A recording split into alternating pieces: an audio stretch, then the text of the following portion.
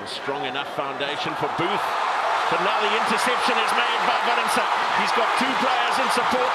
Godlen Masimla, one of them. Proctor is doing the corner flagging. Can Valensa go all the way? Oh, yes, he can. We'll have a look at that again in a moment. That's a great piece of skill. And now Fayani busting his way through. Brilliant ball on the inside. And in for the try is Tony Lamborn. Rather keen to get into the action. Here's Banks. Tom Banks, wonderful footwork. What a try. Brumbies.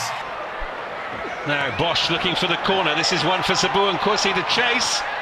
And he's got the try! That is extraordinary! Scrum is solid. Shats to Saito with his first touch. April, it opens up for him! Straight through goes Garth April. Mo'unga, here's the cross kick. Looking for Fainga'anuku, he's got in the air. And he's beaten up here and he's going to have too much pace, I reckon.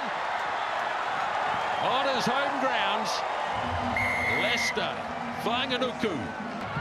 Cruden now running in a bit of space. Beautiful ball away to Stevenson. That is magic.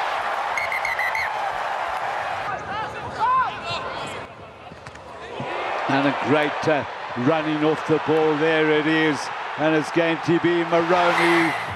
Use it nine. Nohamba gives it to Esterhuizen. Lovely straight run from him. And here goes Nohamba!